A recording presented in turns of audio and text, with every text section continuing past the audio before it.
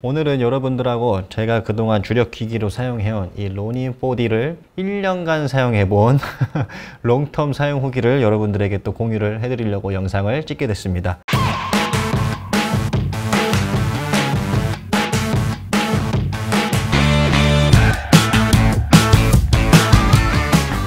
이번에 새로 나온 그 로닌 4D 플렉스를 구매를 했는데 그거 리뷰로 영상을 찍었습니다. 사실 찍었었는데 제가 백업을 안 해가지고 다 날라갔어요.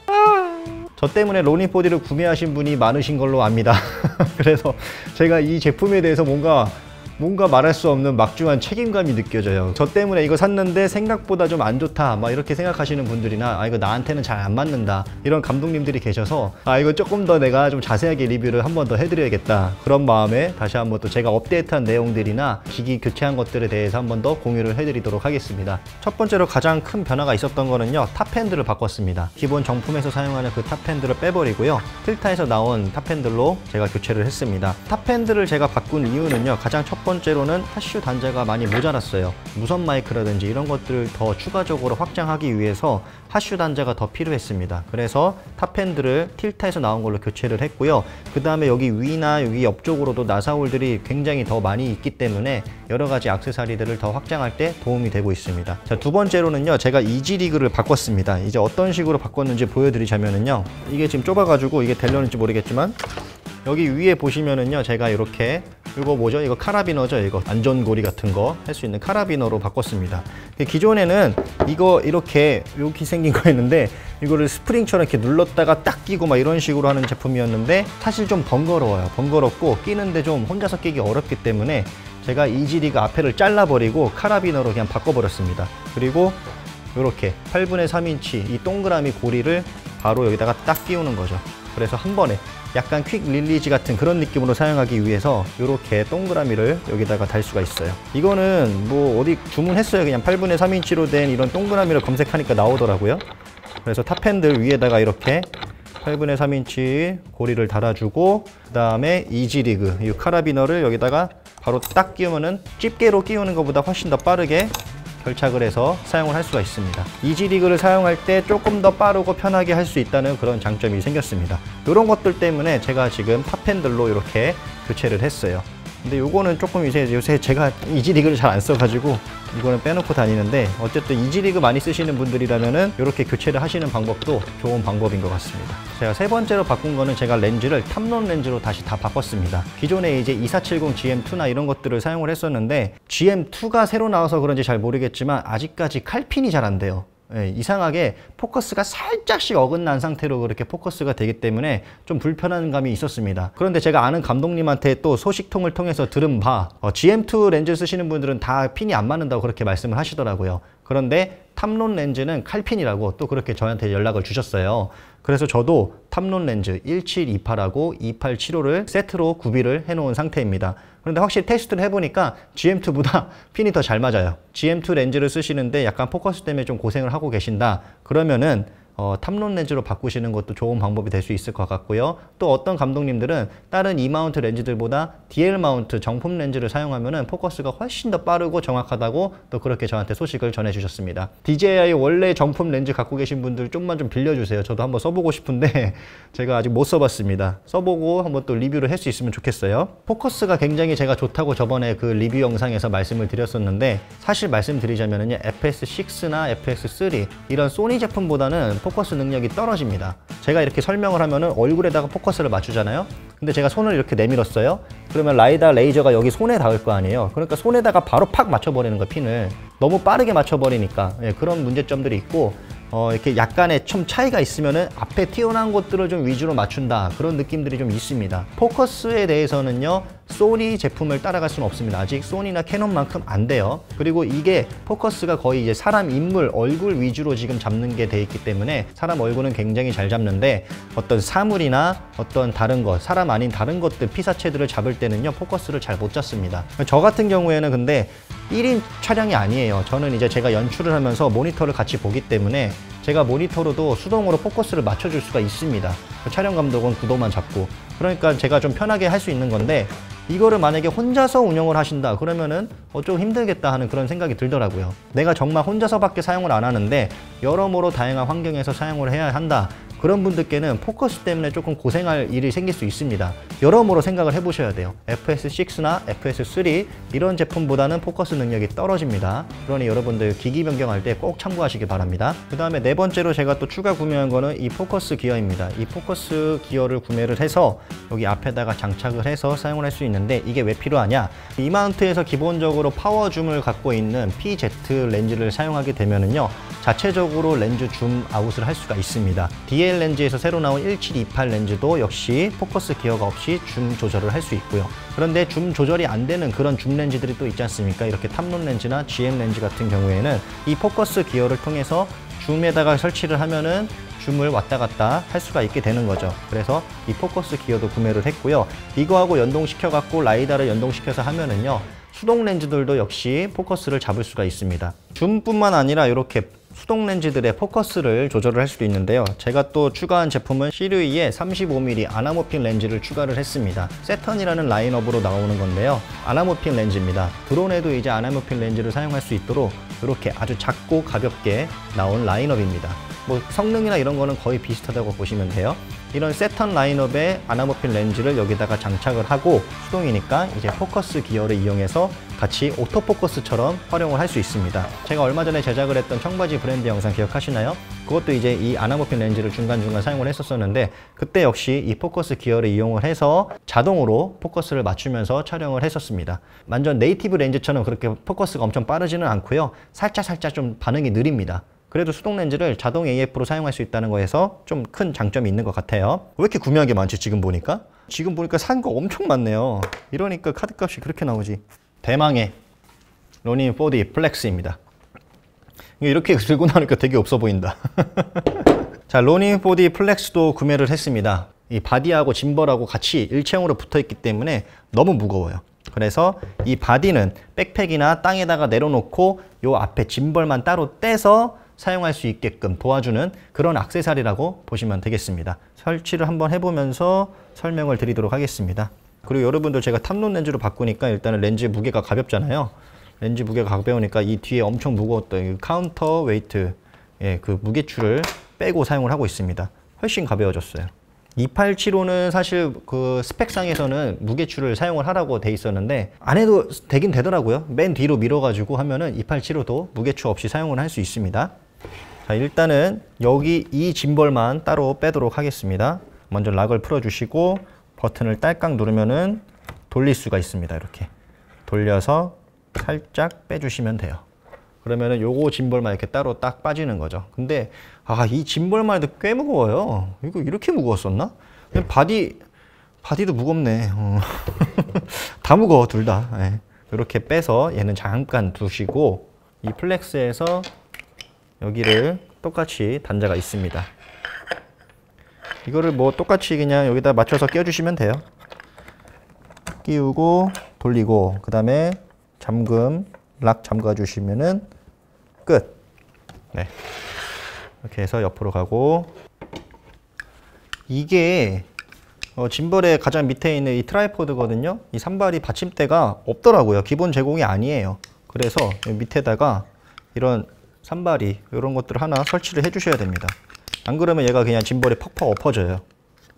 그래서 얘부터 이렇게 딱 견고히 세워주시고 이제 뚜껑을 열겠습니다. 뚜껑 열면은 똑같이 생겼죠? 여기에다가 이제 끼울게요. 빨간 선에다가 껴서 맞춰주시고 얘를 돌리기만 하면 끝. 끝났습니다. 네. 모니터도 여기다 설치하면 좋으니까 모니터를 빼겠습니다. 모니터를 빼고 얘네들이 참 안 좋은 게 DJI가 이런 게 너무 다 독자 규격이에요. 이거 C타입으로 돼 있어 이런 것도 모니터가. 이 모니터 같은 경우에는 여기 옆에다가도 달 수 있고 이 육각 렌치를 빼가지고 여기 밑에 가운데에다가도 달 수 있습니다. 가운데다 달아버리면은 이렇게 딱 가운데다 완전히 보면서 할 수 있는 거죠. 저는 귀찮으니까 일단 그냥 옆으로 이렇게 달아 놓을게요. 플렉스를 좀 많이 사용하신다 하면은 가운데다가 교체해서 육각 렌치로 바꿔서 사용하시면 돼요. 그 다음에 여기 이렇게 모니터 단자는 여기 디스플레이라는 포트가 있습니다. 뒤쪽에. 끝. 좋습니다. full 세팅을 하기 위해서는 양옆에다가 이제 side hand까지 설치를 해주시면 돼요. 네, 바디에 있는 거를 빼서 껴주시고 역시 오른쪽도 빼서 옆에다가 껴주시면 됩니다. 그럼 이렇게 full 세팅이 완료가 됐습니다. 오 가벼워요. 네, 이거 같이 full 세팅한 것보다 훨씬 가볍습니다. 확실히 여기 로닌 플렉스에서 나오는 이 모니터 단자를 바디 단자에다가 또 끼워 주셔야 됩니다. 일반 짐벌처럼 사용을 할 수 있어요. 이렇게 들고 있고 이렇게 들고 다니면서 아 가자 야 이렇게 하고 이렇게 들고 다닐 일은 없고요. 네 이거를 이제 바닥에 이렇게 내려놓고 이렇게 촬영을 한다든지 하면 은 훨씬 더 가볍게 촬영을 할 수 있겠죠. 근데 이 정도면은 지금 RS3나 RS2에다가 네, 사각링을 연결해서 사용한 거랑 거의 비슷한 무게입니다. 제가 지금 저울을 주문했는데 저울이 아직 안 왔어요. 그래가지고 정확한 무게는 알려드리기가 어려운데 어쨌든 기존 로니 4D보다는 훨씬 더 가벼워지고요. 이런 사각링을 사용해서 풀 세팅한 것보다는 가볍다. It's my time, it's your time, it's showtime. It's my time, it's your time, it's showtime. It's my time, it's your time, it's showtime. It's about to drop. I'm a champagne bottle and I'm about to pop. Cream of the crop. Gonna ride this rocket till I'm at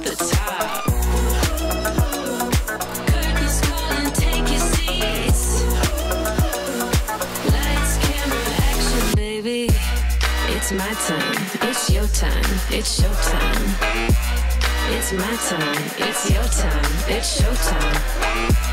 It's my time, it's your time, it's showtime. It's my time, it's your time, it's showtime. Are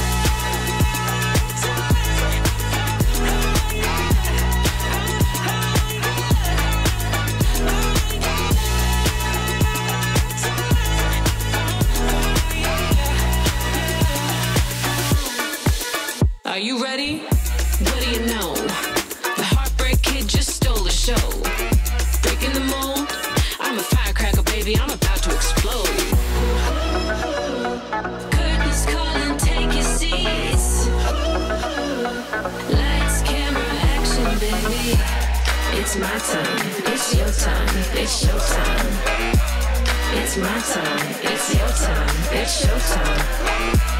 It's my time, it's your time, it's showtime. It's my time, it's your time, it's showtime.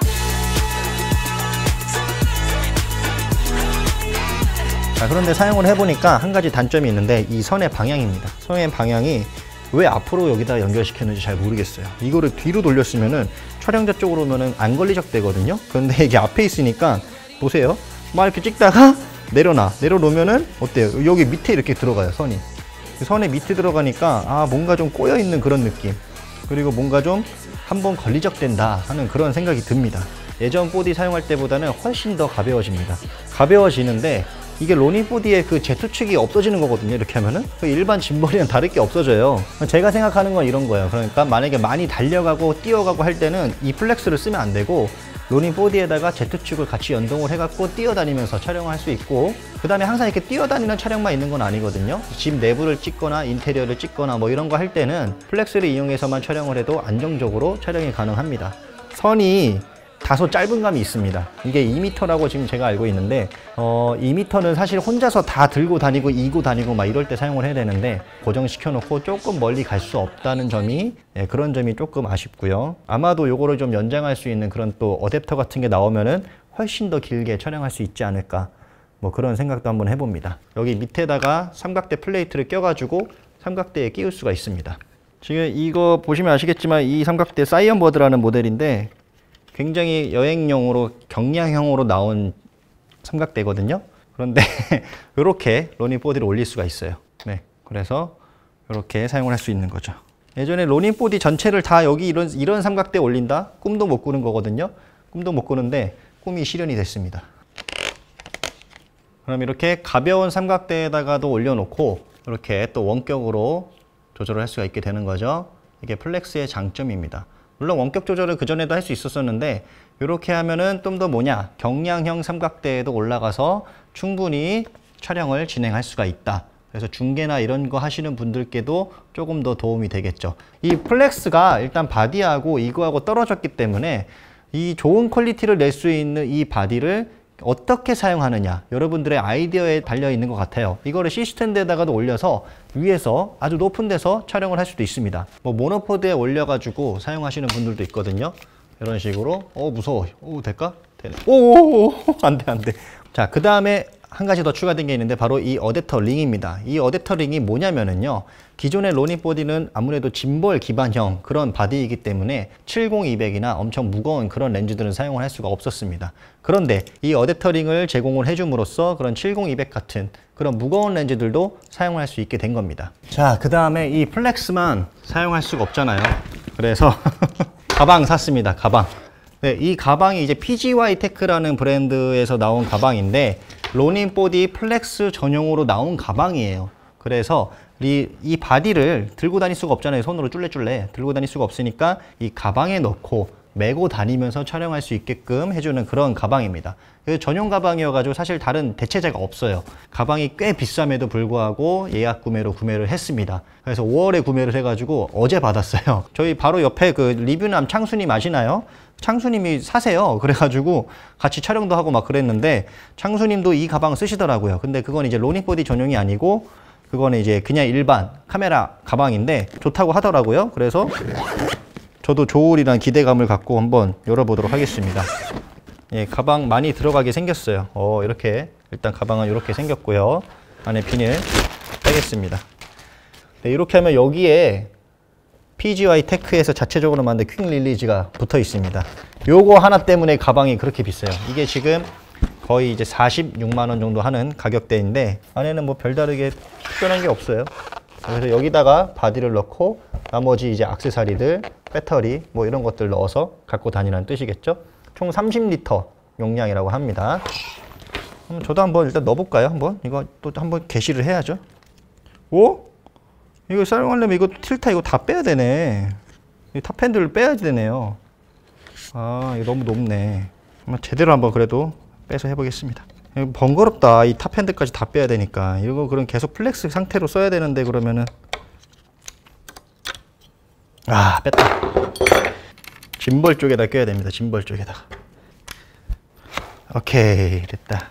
선도 이렇게 나갑니다 위로 이게 좋은 게 뭐냐면은요 바디에서 자체적으로 또 열이 나오지 않습니까 발열이 있기 때문에 이렇게 옆으로 열어놔서 네 통풍을 시켜주는 거죠 그래서 발열을 또 어느 정도 해소시켜주는 그런 구조로 되어 있습니다 일단 해보겠습니다 오 여기가 굉장히 좋습니다 여기는 어, 땀 흡수나 이런 것들도 통풍도 굉장히 잘 되어 있게 mesh 재질에다가 아주 푹신푹신하게 잘 되어 있고요 그 다음에 등산 가방처럼 이렇게 또 허리를 잡아주는 벨트가 또 따로 있어요. 한번 매보겠습니다. 어, 무거운데? 네. 이건 뭐죠, 여러분? 이거? 여기도 이렇게 딱 껴야 되는 거 아닌가? 이 전원을 안 켰다고 깜빡하고 가방 내리지 마시고 Flex 자체에서 전원이 있습니다. 네, 켜주시면 켜져요. 다행이다. 어, 가방 또 내릴 뻔했네. 들고 다니면서 촬영을 하는 거죠. 오, 이런 거 확실히, 확실히 어깨에 매니까, 오, 편해요. 무거운 거 하나도 없네요. 예. 괜찮은데 이거는 이거 오래 촬영할 만한데요. 이 정도면은 음 그냥 짐벌 달고 다니는 거랑 별로 다를 게 없습니다. 여행용 가방으로도 괜찮은 것 같아요. 굉장히 크고 많이 들어가기 때문에 여기다가 드론까지 넣어갖고 이렇게 다니시더라고요. 다른 분들 보니까 네, 오 괜찮은데요? 네, 촬영하다가 힘들면은 내려놓고 따라다니면서 follow 하면서 촬영할 때 괜찮을 것 같고요. 한두 시간 장시간 촬영할 수 있을 것 같아요. 음 좋네요. 또 좋다고 하고 나중에 또 힘든 것도 나오는 거 아니야? 네. 이 Flex 굉장히 좋습니다. 가격대에 비해서 얻어지는 그 효과는 훨씬 더 크다. 이렇게 보고 싶습니다, 저는요. 여러분들께서도 만약에 Ronin 4D를 주력으로 쓰고 계시는데 너무 오랫동안 촬영하느라 힘들다. 그러신 분들은 꼭 구매를 하시면 좋을 것 같고요. 그 다음에 저처럼 또 원격으로 촬영을 하거나 어떤 중계 현장에서 좀 많이 사용을 하신다 하면은 편하게 가볍게 사용할 수 있는 좋은 이번에 업그레이드 기기가 되는 것 같습니다. 그런데 다른 대체제도 많거든요, 사실. 차라리 로니보디를 팔아버리고 소니로 간다든지 FX3나 FX6 같은 또 다른 좋은 대체제들이 많기는 합니다. 굳이 로니보디가 필요한 상황이 아니시라면은 여러 가지 좀 폭넓게 보시면서 한번 판단을 해보시는 것도 도움이 될 것 같아요. 여러분들께서도 로니보디를 쓰신다면 또 그리고 관심이 있으시다면은 이 영상이 도움이 되셨길 바랍니다. 감사합니다.